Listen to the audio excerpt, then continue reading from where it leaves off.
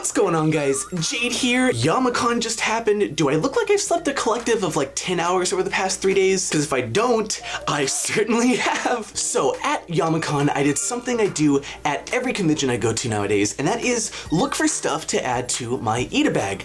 I have an Osomatsu-san Ita bag. It's my, it's my pride and joy, dude.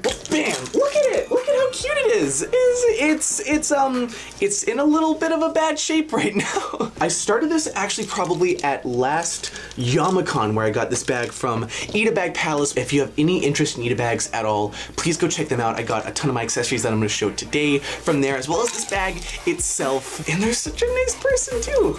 But this video is not about showing off my Ita bag. It's about fixing this poor, disheveled boy. As I was looking around this weekend for other Osomatsu-san charms, I was just like, I kept looking at my Ita bag and I was like, this kinda sucks now. like if you look under here, I set it down on like a wet carpet at my university and it like soaked up through the bag and look at the underside. Oh, Oh, oh, it's so gross, dude. And then like on top of that, like the arrangement of like all of the the items and everything is so messy now. Like there's so much dirt inside of here and everything. So I need to remedy that. We need to fix this to make this look its best to restore the Osomatsu-san Ita bag to its original glory. And that's what we're gonna be doing here today with some Ita bag surgery. Let's hop right into it because I can't, I can't stand to have it this way much longer.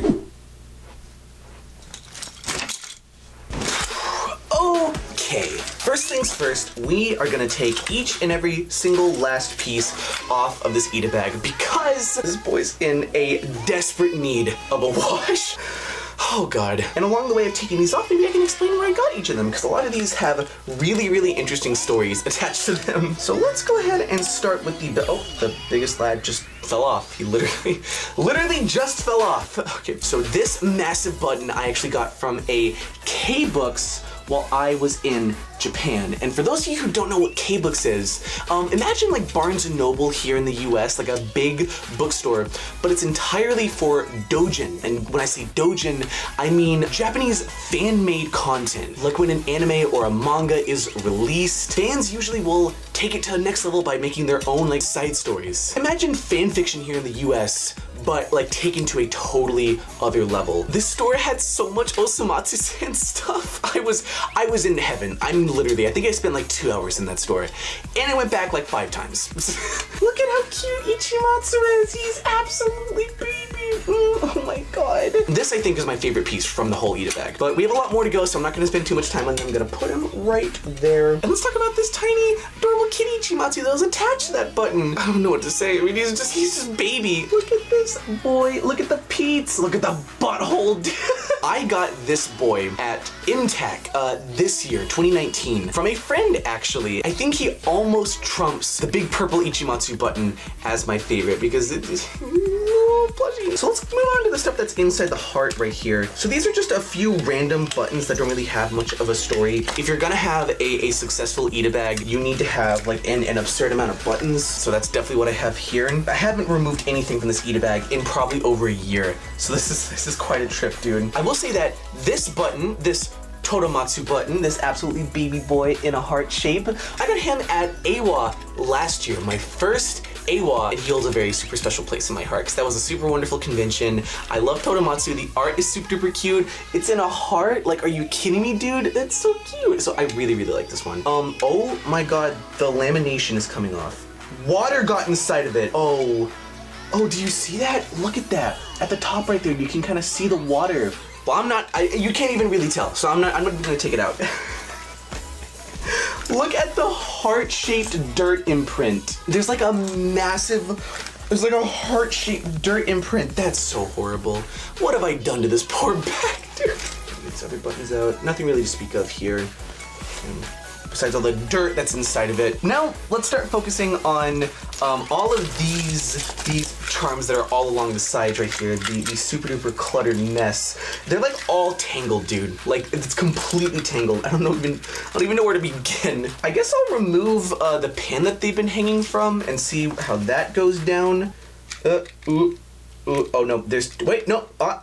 Ooh, oh, okay, here we go. So this pin actually has another really cool uh, story attached to it. I also got this Choromatsu while I was in Japan. This absolutely baby boy, get in there. I got him in uh, a mystery pack, I guess you could say, that I got when I went to the Osomatsu-san Cafe. Yes, there is an Osomatsu-san Cafe in Osaka, Japan. It, it throw up a picture right here. It was something so incredible, dude. And as you were leaving, you were given the chance to buy like a little merch thing, and I chose a mystery button and got Choromatsu. Not my absolute favorite boy, but he's still really cute in this in this pin. Look at him. Everything else here, oh, it's all falling apart now. Oh, wow.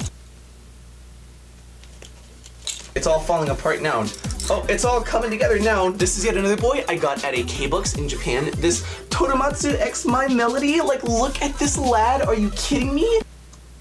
Oh, it smells so. the rest of these are really nothing to speak of. Choromatsu holding Totoko. Absolute waifu, by the way. If I was to pick a waifu, which I don't really think I have one, I really don't, but it would probably be Totoko from Osomatsu-san. That or Ichimatsu himself. I think that's a husbando, actually.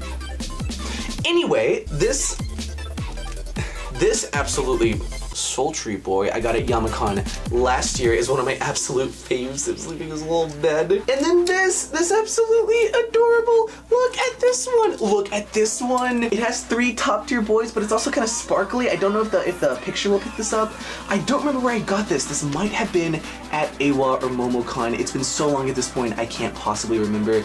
But it's one of my faves. It's super duper adorable, dude. And then, and then this winter boy. Look at this. Look at this absolute cutie. Okay, and now, did you think that we were done? Did you think we were even close to done? How dare you, dude? We got a whole nother, whole nother side here to do.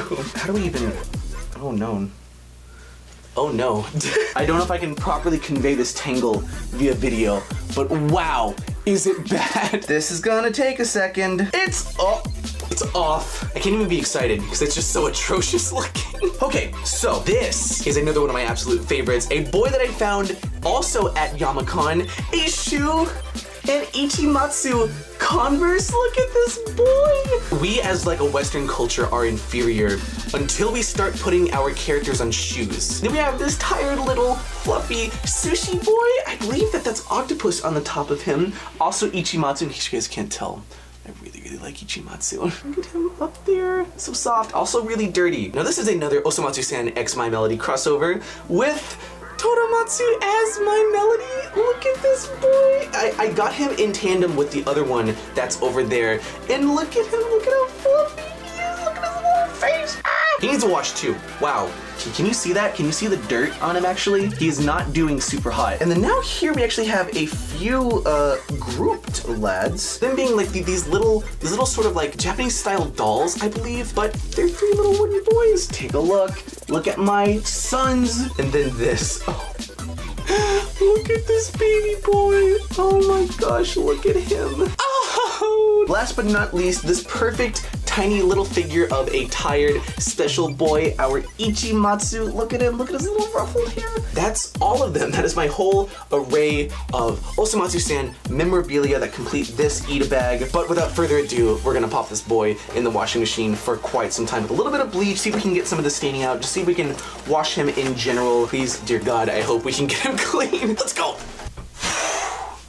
Welcome to my laundry room. I am literally too tall for this camera angle, so I have to bend down like this. Hi.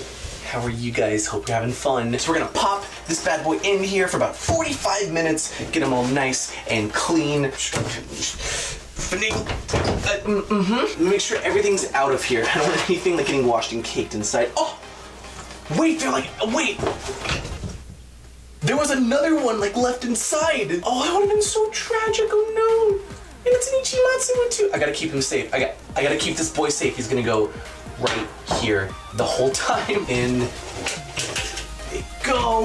Just put that right in there. Okay, and we need detergent. Boom, bam, Tide Pods. There's one, only need one, and I'm just gonna put in like a dab of bleach maybe. Carefully. Oh, I oh my god, it splashed everywhere.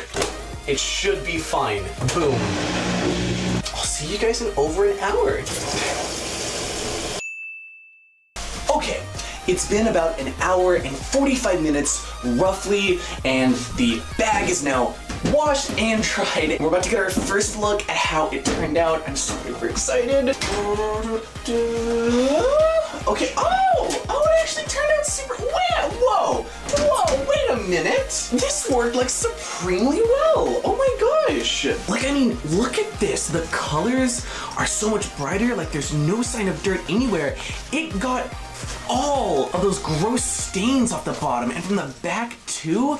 Like they're non-existent now, dude. Oh my gosh. I think the biggest thing is like how much the colors pop now too. Like, I mean, everything looks so much more vivid. It even got like most of the dirt heart circle away. Like most of it's gone. And now with that, let's go put the stuff back on. Now we get to the reconstructing. And earlier on in this video, I complained about how tangled up and clumped a lot of these uh, charms were because they really, really were. I have a solution to that actually. Thanks to Ita Bag Palace, the person I also mentioned earlier on in this video. These are four little perfectly colored safety pins that I should be able to attach a few of these charms onto and spread everything out, make it look nicer, make it just go together so much more neat. So once again, a huge thank you to Ita Bag Palace for these. Not a sponsor, I just really, really love what they're doing. And if you want to make yourself one of these, please go check them out. They're truly doing this community a huge favor. So without further ado, let's start, let's start putting this thing back together.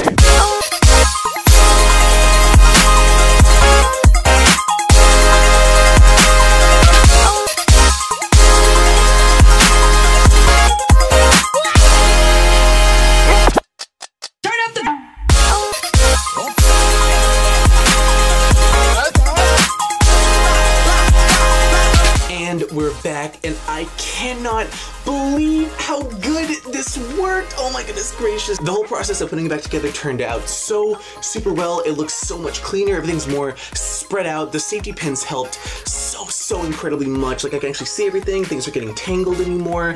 Like even the ones over here aren't getting tangled. I can put two plushies in places. It just looks so, so much better. And the bag itself is actually clean. Like it actually got clean.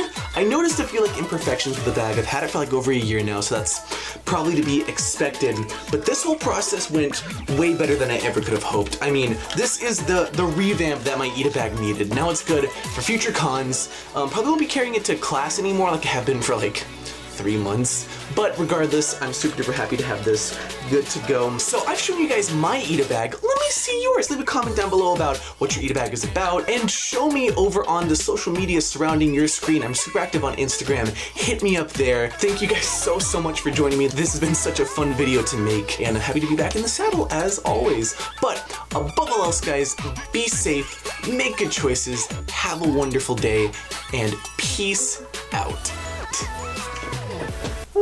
Wishes.